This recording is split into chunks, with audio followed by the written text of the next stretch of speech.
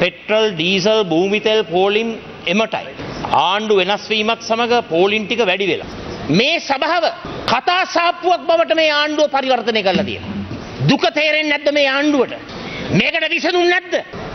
මේ ආණ්ඩුව මේ පාර්ලිමේන්තු හැල්ලු කරලා තියෙනවා. කරන්න කිව්ව ගත්තේ නැහැ. කටවහගෙන ඉන්නවලු. තමුන්නාන්සේ ජනමතය දන්නෙත් නැහැ, ජන සම්මතවාදය දන්නෙත් නැහැ. සමගි ජන සන්ධානයත් විපක්ෂයේ සියලුම ප්‍රගතිශීලී කණ්ඩායම් තීන්දුවක් අරගෙන තිබෙනවා මේ රටේ ජනතාවගේ කැක්කුම තේරෙන්නේ නැති මේ ආණ්ඩුව මේ ඇවිල්ලා කරන බොරුවට අපි සම්බන්ධ වෙන්නේ නැහැ.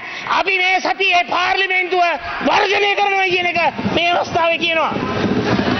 අපි හිතගන්නවා මහපාර ජනතාවත් එක්ක.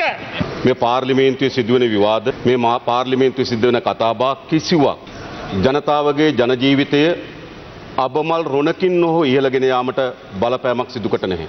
මෙම ව්‍යසනයෙන් ගොඩේම සඳහා අවශ්‍යන මාර්ග සිටීම සැලස්ම කෙටිකාලන වැඩපිළිවෙල මේ පාර්ලිමේන්තුව ඉදිරිපත් කළ යුතුයි. ඒ නිසා තවදුරටත් මේ පාර්ලිමේන්තුව ඒ නිසා විපක්ෂ අපි සියලු දෙනා ගරු කතානායකතුමා තීරණයක් අරගෙන තිබෙනවා මේ පාර්ලිමේන්තුව මේ සතිය වර්ජනය කළ යුතුයි. ආණ්ඩුවට කාලයක් දෙනවා. එක්කෝ පාර්ලිමේන්තුව රැස් නොවී මේ ප්‍රශ්නයට විසඳුමක් හොයලා ඉවරලා පාර්ලිමේන්තුව රැස් කළ මේක ඉවර කරන්න ඕනේ. නැත්තම් මේ පාර්ලිමේන්තුව රැස් නොකර නිකන් ඉන්න ඕනේ. මොකද හේතුව අපිට බැනුම් ආණ්ඩලා තියෙන කරු කතානායකතුමනි 225ටම දැන් ආණ්ඩුව වැඩපිළිවෙලක් අපිට කියලා දෙන්න මේ තෙල් පෝලින් ටික ගෑස් පෝලින් ටික මේ ප්‍රශ්න ටික විසඳන්න පුළුවන් වැඩපිළිවෙලක් කරුණාකරලා අපිට කියලා දෙන්න නැත්තම් කරුණාකරලා මේ පාර්ලිමේන්තුව වහලා දාලා අපි නිකන් ඉමු. මේක සර්වපාක්ෂික ආණ්ඩුවක් නෙමෙයි. මේක මේ හැම්මෙන් අයින්දගත්ත ආණ්ඩුවක් තියෙන්නේ. ඒ නිසා හදනවා නම් නිවැරදි සර්වපාක්ෂික ආණ්ඩුවක් හදන්න. ජාතික සභාවක් හදන්න. මම මම පෞද්ගලිකව ගරු කතානායකතුමා. මේ සියලු පක්ෂ එක්ක සාකච්ඡා කරන්න ගියා සර්වපාක්ෂික ආණ්ඩුවක් හදන්න. ඔක්කොමලා කිව්වේ මොකද්ද? අපිට මේ අවස්ථාවේදී මේ බැරෑරුම් තත්ත්වය බාර ගන්න බෑ කියලා. අපි අන්ඩ කුමාර දිසානායක මැතිතුමා එක්කත් සාකච්ඡා කළා. එතුමා කිව්වා සර්වපාක්ෂික ආණ්ඩුවකට එන්නේ නැහැ කියන එක. අපි මේ ප්‍රශ්නේ විසඳන්න කාට හරි යෝජනා තියෙනවා නම් වැඩපිළිවෙලක් තියෙනවා නම් බය නැතුව ඉදිරියට අවිලා කියන්න. මට වැඩපිළිවෙලක් තියෙනවා මට යෝජනාවක් තියෙනවා මට ගෑස් අඩු කරන්න පුළුවන් මට විදුලිය අඩුවෙන් දෙන්න පුළුවන් පැය 24 විදුලිය දෙන්න පුළුවන් පිටි දෙන්න පුළුවන් කියලා කියන්න බොරුවට නිකන් ඉස් වචන මාලාවක් කියලා මිනිස්සුන්ග නොමග යවන්න එපා කියන එක පැහැදිලිව කියමින් අංශමැතිතුමාගේ මන්ත්‍රී කණ්ඩායමේ සමහරුත් රෑට රෑට ගිහිල්ලා ජනාධිපතිවරයාට යෝජනා කළා අගමැති බවට රනිල් වික්‍රමසිංහව පත් කරන්න කියලා.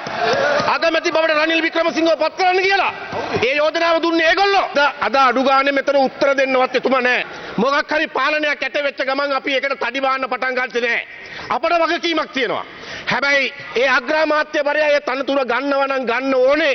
මේ තියෙන දැවෙන අර්බුදයට තියෙන උපාය මාර්ග පිළියමක් සැකස්මක් වැඩපිළිවෙලක් ඇතුව දැන් බලාගෙන ගියාම මෙලෝ වැඩපිළිවෙලක් නැහැ. මේ ජනාධිපතිතුමා මෙන්න මගේ නියුත්තේ ගියා කියලා. මම තමුන්නාන්සට කියන්නේ මම ගියෙත් නෑ. මගේ නියෝජිතය ගිහිල්ලා මේ ජනාධිපතිතුමාට කිව්වෙත් නෑ රනිල් වික්‍රමසිංහ මහත්තයා පත් අපි හැමදාම උත්සාහ කළේ පක්ෂ එක්ක එකතු වෙලා පෝට්ටුවේ අගමැති කෙනෙක් පත් කරන්න.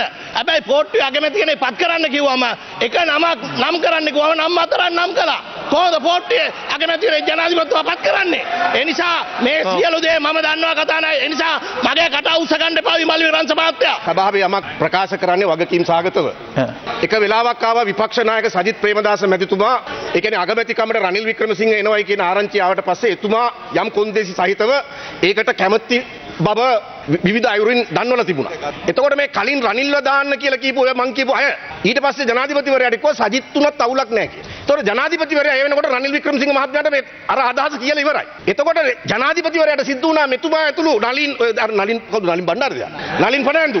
නලින් ෆර්නෑන්ඩුට ඇමතිකම දුන්නේ මෙයා මෙයා මෙයා කිව්වා මට එපා ඒක නලින්ට දෙන්න කියලා. ඊට පස්සේ ජනාධිපතිවරයා මෙතුමන්ලගෙන් අහනවා ඕගොල්ලෝ එක වෙලාවකට රනිල්ව දාන්නලු සජිත්ව දාන්නලු.